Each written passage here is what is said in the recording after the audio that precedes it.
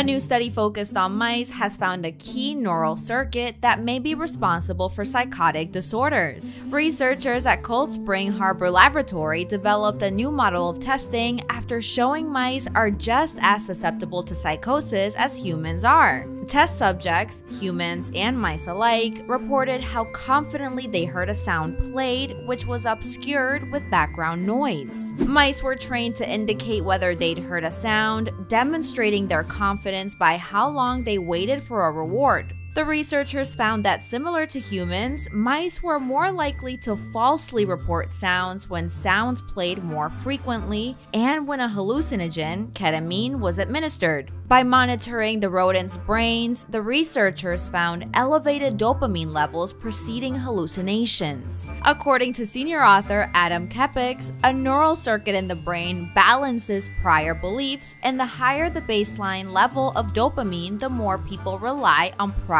beliefs. We think that hallucinations occur when this neural circuit gets unbalanced and antipsychotics rebalance it, he told Washington University's The Source. While dopamine is known to play a role in psychosis, how the chemical rewires brain circuitry to produce hallucinations remains a mystery. The new model could allow researchers to probe deeper and identify new treatments for psychotic disorders. Right now, we're failing people with serious psychiatric conditions because we don't really understand the neurobiology of the disease, Kepecs explained. We're not going to make progress in treating psychiatric illnesses until we have a good way to model them in animals.